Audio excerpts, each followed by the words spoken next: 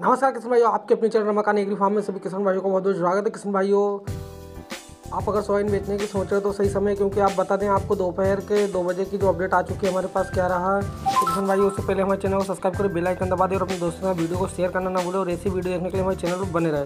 तो बात कर लेते हैं, सबसे पहले जलाना जलाना मंडी किसान भाई सौ से छः हज़ार नौ सौ रुपये प्रति कुंटल देखने देखने को मिला। कल से हमें इसमें डेढ़ सौ रुपये का डाउन देखने को मिला।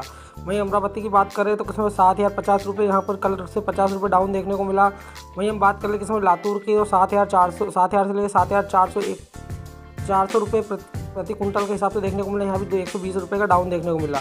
उज्जैन की बात कर ले किसान सात हज़ार तीन सौ रुपये से लेकर सात हज़ार पाँच सौ रुपये प्रति कुंटल के हिसाब से देखने को मिला। देवास की बात कर ले, देवास के में चार हज़ार से लेकर सात हज़ार आठ सौ रुपये प्रति कुंटल देखने को मिला। हमें कोटा की बात कर ले, किसमें? कोटा में भी हमें छः हज़ार आठ सौ रुपये से लेकर सात हज़ार चार सौ रुपये रुपये प्रति कुंटल के हिसाब से देखने को मिला और दो सौ रुपये हमें डाउन देखने को मिला।